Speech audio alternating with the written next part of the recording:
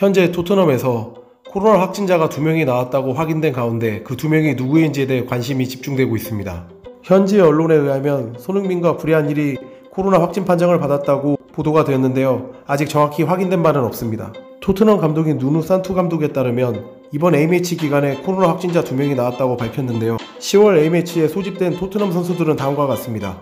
프랑스 국가대표 골키퍼인 위고 요리스, 잉글랜드 최전방 공격수인 해리 케인, 한국 국가대표 공격수인 손흥민, 스페인 국가대표 공격수인 브리안 힐과 세르지오 레길론이 있습니다. 개인적인 예상으로 현지 보도의 예상과 달리 브리안 힐과 세르지오 레길론이 코로나 감염자가 유력해 보입니다. 왜냐하면 토트넘에서 일단 확진자가 2명이라고 밝혔고 둘은 같은 스페인 국가대표이기 때문입니다. 이상 두해지였습니다.